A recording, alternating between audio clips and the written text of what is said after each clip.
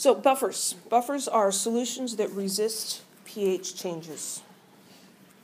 A buffer is a solution that contains both a weak acid and its conjugate base.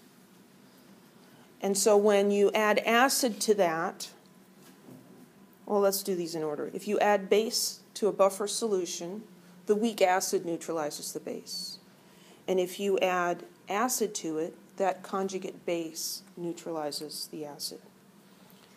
Your blood is a buffered solution and it resists pH changes. It's pretty interesting how it does that. It has to do with um, carbonate. And so carbonic acid is the weak acid. Um, and there's a little blurb in your textbook that, that talks a little bit about that. And you, you know, if you're interested, you might want to read that. So your blood pH is pretty tightly regulated between 7.36 and 7.40. And that's where you're good. If you get below 7.0 or above 7.8, you're dead. Really bad. So just that small change in hydroxide ion concentration, hydrogen ion concentration, will kill you. What would cause your blood pH to change? What would cause your blood pH to change? Um, well, I was just reading through the one, um, the little blurb in the textbook about ethylene glycol, antifreeze. So if you drink ethylene glycol, and it's a problem with children and animals because it kind of tastes sweet, and so it's not like something that's nasty to taste. It tastes kind of good. So if you, you know, like say you're, we'll, we'll pick on cats because more people hate cats. I love cats, but so say your cat drank some ethylene glycol what's going to happen? Well, it's an alcohol and your body metabolizes it, but then it produces an acid. And your body, that gets into your blood and drops the pH of your blood. And so your body tries to compensate. It makes you hyperventilate because then you get more carbon dioxide into your blood, which helps to neutralize that acid. But it, if you drank, if the cat drank enough, that's not going to work. And so then the pH of the blood drops too low, and that messes up all these complicated interrelated reactions that are going on in your body, and death results. So, interestingly, the way to treat an ethylene glycol poisoning is to give ethyl alcohol. At a base? No, that's alcohol. It's like pour vodka down the cat's throat. Because your body metabolizes the ethyl alcohol preferentially to the ethylene glycol. And so you keep your body busy with the ethyl alcohol, and then the ethylene glycol just kind of slips out. No, don't. Not something to mess around with. Not something to mess around with. But, you know, the, the problem is, you know, your radiator leaks and it spills all over the ground, and if there's, you know, puddles, mm-hmm. a dog could come and drink it. You know, it, it happens, sadly. Has it ever happened that work where drinking someone accidentally drank alcohol and then? Uh, I believe so, or they wouldn't put it in the book. Oh. Yeah. Give them an alcohol. Yeah. So. So really, the whole, the, the, the, we don't try to we don't try to ba- we don't try to neutralize it. We try to give the body something else to pay attention to, so it flushes the rest of that. Right, because there's no way that you could neutralize it. And so this is, you know, the, the scientific thinking. It's like, okay, what's different about the ethylene glycol, and what could we do to make the body stop doing that so it wouldn't harm itself? There are some things that, yes, you could swallow something and neutralize it in your stomach and you'd be fine. But you, you can't just neutralize ethylene glycol. I mean, there there are reactions that you could do, but those are probably going to hurt you more in your stomach than, than the ethylene glycol would. So it's interesting. And there are other things where the best solution is to vomit. Get it out. So let's look more specifically at these buffers. Um, acetic acid and sodium acetate is a buffer system. So acetic acid, HC2H3O2, is a weak acid. It's not one of those seven or six or however many your book had. I think it was six strong acids. If it's not on the strong acid list, then it's a weak acid. And in order for it to be a buffer system, it has to be a weak acid. Because if this was a strong acid, it would dissociate completely and there would be no more acid left here. okay? And we need to have this molecule intact. So if we add base, like sodium hydroxide, to this system, the acetic acid will react with it and neutralize it. You'll get water and sodium acetate. If you add acid to this combination, you also have sodium acetate here. That's the conjugate base of the weak acid, and that reacts with the acid and, and neutralizes it. So let's just look real quick here. So um, HC2H3O2 in water. It's a weak acid, it's in equilibrium. The weak acid, it's an acid, it donates a proton. So it'll donate a proton to the water and become acetate.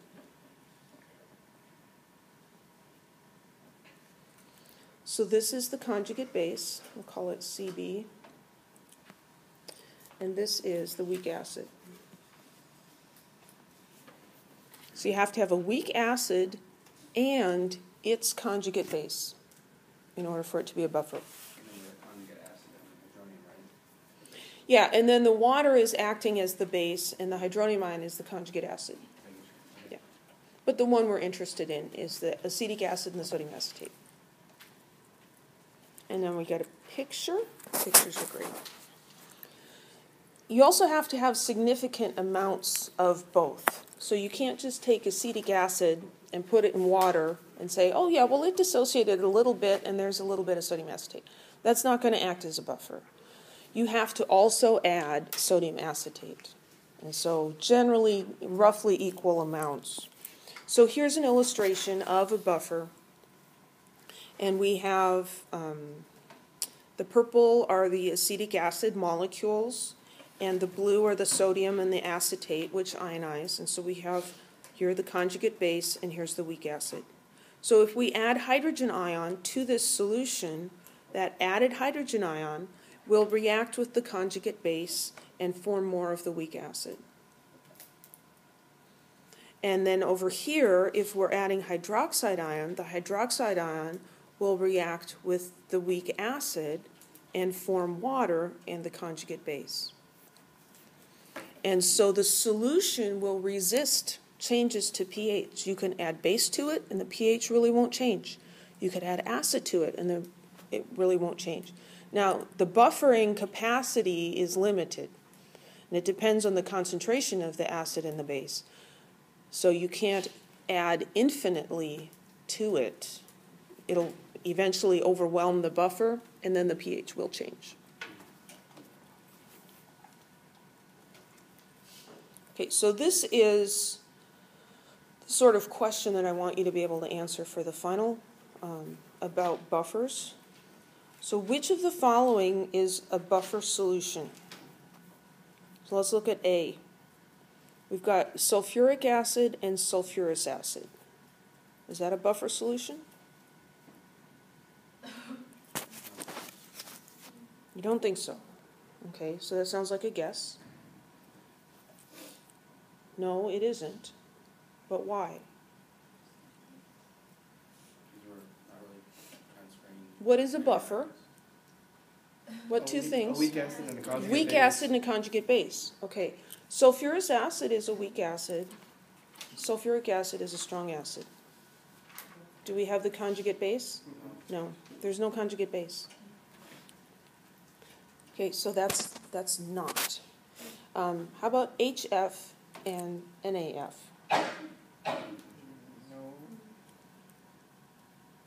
Is HF a weak acid? Yes. Yes, it is. Is this the conjugate base? What is the conjugate base of HF?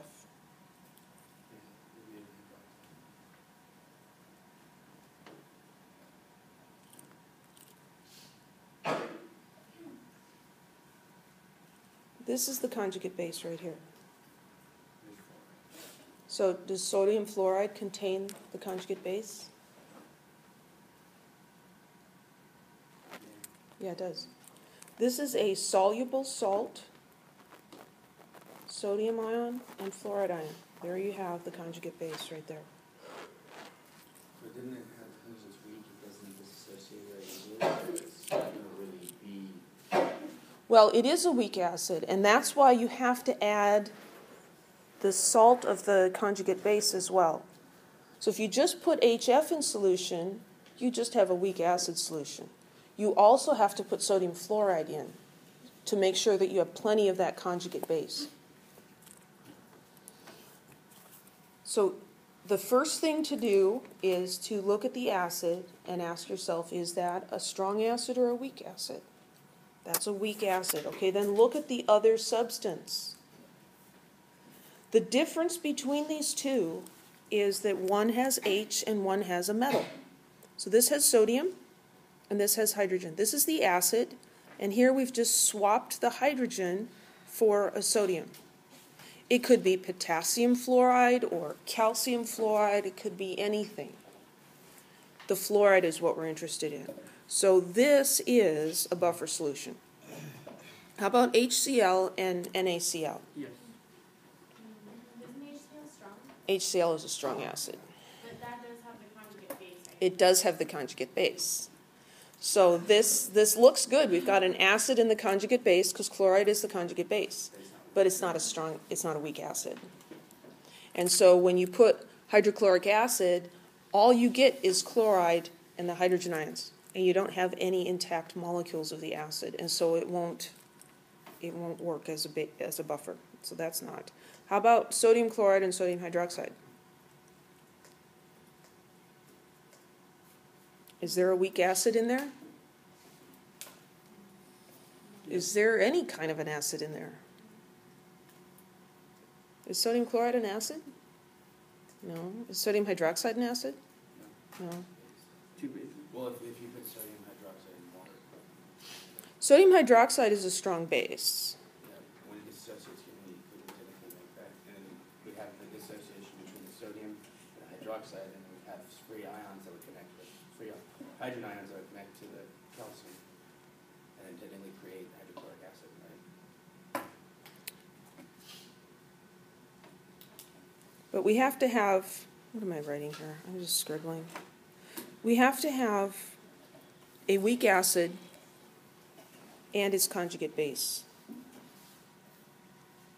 So we've got sodium ions, we've got hydroxide ions, we've got sodium ions and chloride ions. We don't have a weak acid.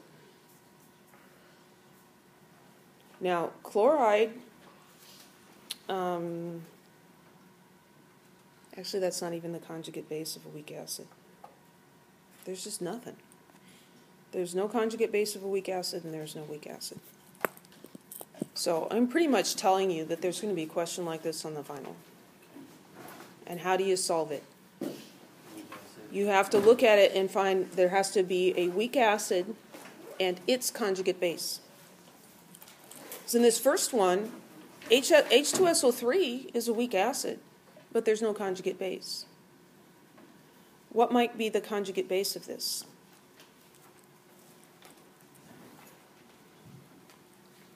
How did we how did we do that? What's different between the acid and the conjugate base? It's lost a proton, a hydrogen ion. So if we take H- H2SO3 and we remove one proton, it'll be HSO3 minus. So that could be maybe sodium hydrogen sulfite or potassium hydrogen sulfite. So if it was in this as, you know, it would be like this, NaHSO3. Okay?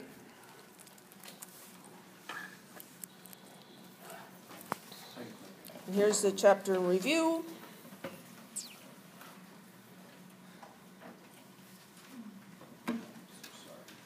And that's the end. The end of the class. Sorry, my brain.